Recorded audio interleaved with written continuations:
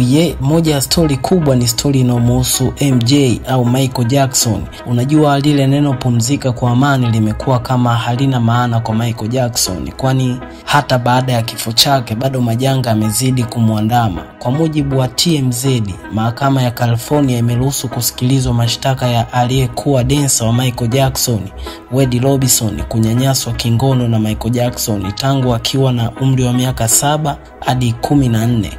Wade Robinson alidai licha ya kulala kitanda kimoja na Michael Jackson hakikutokea kitu, lakini ilipofika mwaka wa elfu mbili na kumi na tatu aliishtaki kampuni ya MJ.